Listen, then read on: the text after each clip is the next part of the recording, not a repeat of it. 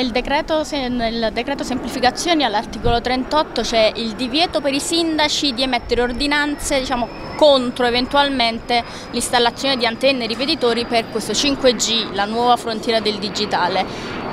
Non so, forse il governo l'ha ritenuta opera di interesse nazionale, di strategie nazionali, non mi piace però eh,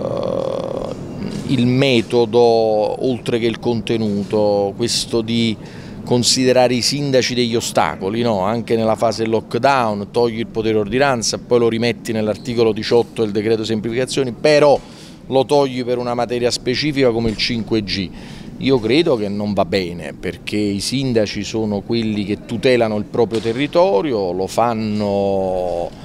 anche da principali responsabili della salute dei cittadini nella propria comunità, bisogna lavorare d'intesa con i sindaci, non considerarli un ostacolo. Poi la materia del 5G merita secondo me un approfondimento corretto dal punto di vista ambientale e sanitario, non mi piacciono i caccia alle streghe, c'è quelli che pensano a prescindere che sia qualcosa di pericoloso, altrimenti il progresso significherebbe di per sé pericolo, ma non mi fido nemmeno di quelli che dicono che il 5G è sicuramente un qualcosa che non fa male e che è tutto a posto. Bisogna sempre stare attenti, controllare, investigare, fare accertamenti e noi a Napoli il progresso non lo fermeremo, ma non mi piace l'idea che ci sia un governo che strometta i sindaci dalla potestà di tutelare anche la salute dei propri concittadini, oltre che il progresso e lo sviluppo.